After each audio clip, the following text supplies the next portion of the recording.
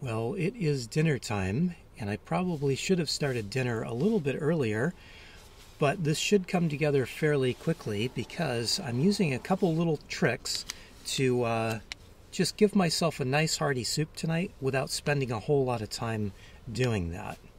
So my first little trick is to use a soup mix from Bob's Red Mill. And this is something I like to keep on hand in the fall and wintertime. It's just it's just a simple, easy kind of thing that I can keep in my dry pantry and throw in a pot and cook. Now, if there's one downside to this is that it takes quite a while to cook because it's a mixture of dried lentils and split peas and there's a little bit of pasta, dried pasta in there as well. I find if I soak this overnight in some water, it will cook in less than half the time. So I did about half the bag because I wanted to have quite a bit, not only for dinner tonight, but for some meals tomorrow. So I've got that. And then, because that can be kind of stodgy, I think, um, I stopped at Trader Joe's, and this time of year they have this little mix of vegetables, and it just makes it kind of easy uh, to add this to some soup. So I think instead of just adding this to some soup, I'm, I'm actually going to brown it off first and then just set it aside. So this is a cool little product that Trader Joe's has in the wintertime. It's just a mixture of butternut squash, sweet potato, red onion, celery, parsley, sage, and rosemary. So not only do you get vegetables, but you get a little herbs in there as well, and it really is quite tasty. And you don't really need to do anything to this if you don't want. But like I said, I, I find it is better just to cook it off a little bit on its own. And then uh, that'll just impart a little bit of extra flavor to it. So even though I am in a hurry, this is a quick little step that will just make the soup taste better, immensely better, uh, once we put it all together. All right, I'm going to cook everything off in the same pot here, but I'm going to just start off with the vegetable mix. I need the olive oil a little bit here. Just a little bit of olive oil, because I'm hoping to get a little bit of brown on these vegetables. And put a healthy little amount in here. I've got quite a bit of that dried soup mix, so I just want to balance out the uh, the kind of the kind of stodgy flavor of the dry soup mix with the fresh vegetables or the fresher vegetables here. Um, I really like having this this time of year. Uh, I don't buy this very often, but um, even when it is available, but it is kind of nice just to have this available because I can use part of it for one meal, use another part of it for another meal, and I don't have to buy a bunch of vegetables and break them all down, chop them all up. Okay, I'm to just give it a little bit of salt. I like the salt on each step. All right. So we've got just a little bit of color and flavor on there. Let me turn that off so I don't light myself up. And I think that's good enough for me for now. We'll just put this aside. And this is not a necessary step, obviously. You don't, uh, you really don't need to pre-cook this like this, but I just kind of like it because anytime you can add just a little bit of extra flavor, I think it's really important. Okay, now we'll go in with our dried soup mix.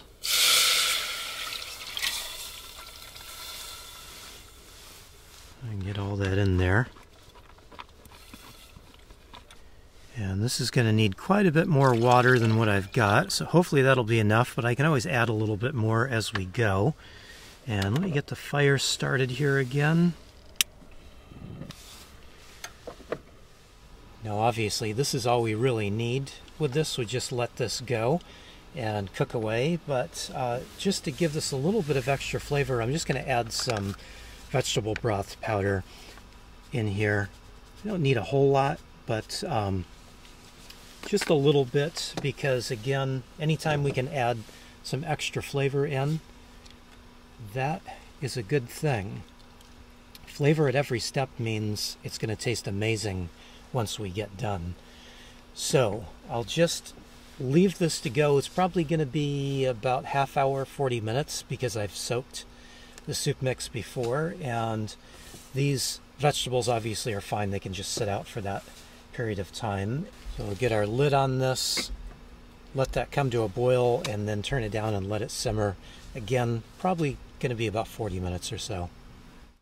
So I should mention, if you're looking for this soup mix from Bob's Red Mill, this is kind of a health food store type product. Uh, Bob's Red Mill is normally carried at like natural food stores or health food stores, although I think I bought this one at a Fred Meyer, which is a Kroger chain of grocery stores. So Ralph's, Kroger, Fred Meyer uh, do sell them. So they are kind of widely available, but I'm not sure if it's kind of a Wally World type item.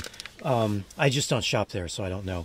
Uh, and they do sell this in a couple of versions. So I had kind of the basic one, and then they do have kind of a bean type one. So this one has beans in it instead of pasta. This is not gluten free, just like the other one, because it does have some wheat berries and some kamut uh, in it as well. So, um, so yeah, you may, if you're if you're trying to avoid gluten type products, these won't really do it for you, but I don't have a problem with those. So, um, so I like these, although this one, I think I like this one a little bit less than this one. This one's kind of more universal to me. Uh, without the beans in it, I can kind of just add what I want. Uh, but they're both a really nice little pantry kind of staple to keep around, uh, especially in the fall and winter when you want something really hearty and filling and warming. I think they're just great products. All right, I believe our soup is finished. It's been about 45 minutes. So I did kind of taste it in between. Um, I needed to add a little bit more water. These, uh, anything that's kind of split pea based seems like it takes a lot of water. So I did have to add a little bit more water. And when I did that, I checked it for some salt, for seasoning, and I did add some salt to it.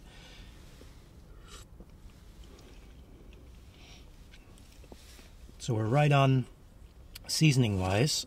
And then I'm just going to put the the uh, vegetable, the fresh vegetable in now. Okay. I'm just going to use this bowl here that I had the fresh vegetable in as my eating bowl so I don't have to wash anything else. A good little hefty portion of it here.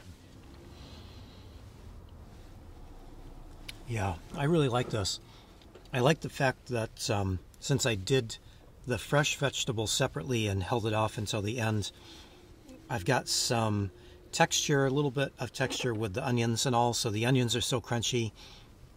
And the sweet potato and butternut squash isn't just all broken down like the rest of the soup is. So I kind of like that. So that little box of Trader Joe's vegetable that I bought was about five bucks, and I'm getting a few meals out of it. So cooking like this is uh, is okay once in a while. I would prefer though to do everything myself and just spend a little bit of time shopping. But today, especially because I was extra hungry and I didn't start dinner until late, I think this was a good idea. So I'm going to get to dinner and hopefully you have a good dinner tonight too. And uh, thanks for watching. I really appreciate it.